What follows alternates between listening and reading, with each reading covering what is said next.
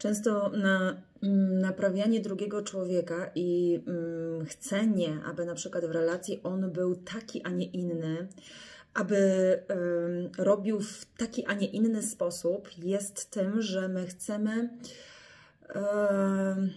no, chcemy tej relacji, ale to jest też informacja o tym, że e, boimy się może być sami, może boimy się tego odrzucenia, może robimy wszystko, żeby ta relacja jeszcze trwała i też jakby tutaj naprawianie partnera, czyli chcemy, żeby on robił tak, jak my chcemy, po to, żeby to nasze życie było troszkę lżejsze. Tylko i też często zauważyłam, że mm, my kobiety mamy takie przekonanie, że jak mu powiem, to on się zmieni. Jak będę gadać, jak będę przekonywać, E, jak będę w jakiś sposób e, obrażać się, albo nawet wyprowadzać, to że to na niego wpłynie, albo poleci za mną, albo w jakiś sposób będzie się starał, e, żeby ta relacja trwała. Żeby ta relacja, że on zrobi też wszystko, bo zatęskni. Może tak być, tylko z drugiej strony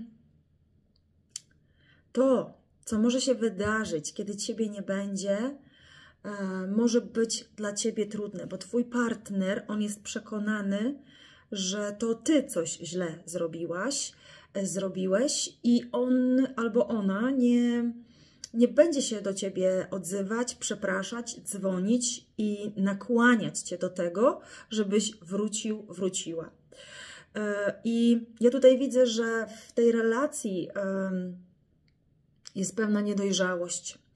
E, osoba, która e, wychodzi pierwsza, która zamyka za sobą drzwi, pod wpływem tych emocji nie może wytrzymać tego, bo to jest za trudne, za ciężkie, żeby mm, zgodzić się z tym, co czuje i myśli partner.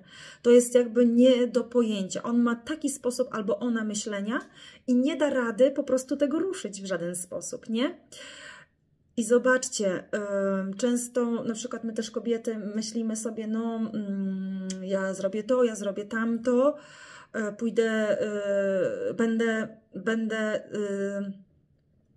e, ciągnąć to dalej. Często kobiety robią to nieświadomie, tylko to nic nie zmieni. Nic. Dopóki mężczyzna sam nie pojmie, nie zrozumie, czego chce, albo kobieta, bo to, to po dwóch stronach działa, że gdzieś jest ta droga rozwoju, która nazywa się moją własną drogą, i tutaj trzeba z powrotem wrócić do siebie, bo możesz przekładać, e, możesz oczekiwać, żeby on albo ona zrobili coś, żeby ci pokazali, że ciebie, że ciebie te osoby kochają, żeby ta osoba ciebie kocha, to możesz trochę tracić swój czas i zatracać się. Dlatego wrócić do siebie i z powrotem w tej trudnej sytuacji, która obecnie się pojawiła w Twoim życiu, zobaczyć siebie, swoje wartości, czego tak naprawdę chcesz i jak chcesz dalej żyć, bo prawdopodobnie ta relacja ci się może w ogóle nie układać, dlatego że ty masz zupełnie inny cel, ty masz zupełnie inne wartości.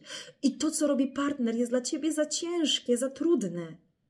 Ale przez to, że nie czujesz się pewna siebie albo pewny siebie, że nie czujesz swojej wartości, że ty możesz sam, sama żyć i sobie świetnie poradzić, będzie cały czas skłaniało cię do tego, żebyś ty prosiła, przebaczała i starała się jakoś to wszystko e, ciągnąć tylko to długo i tak nie potrwa.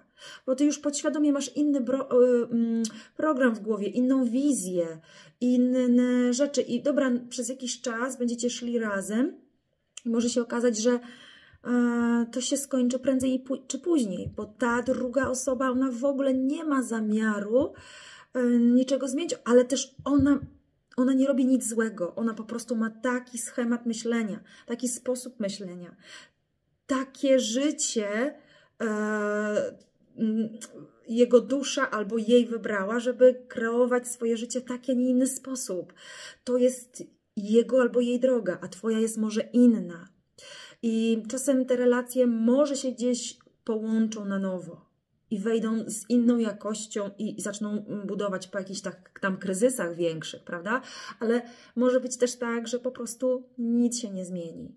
E, I, I po prostu jedyną drogą jest e, rozstanie, bo dzięki temu drugi człowiek, e, ty popracujesz jeszcze ze sobą po tym rozstaniu, coś zrozumiesz i nagle okaże się, że możesz spotkać kogoś, kto będzie naprawdę z tobą rezonował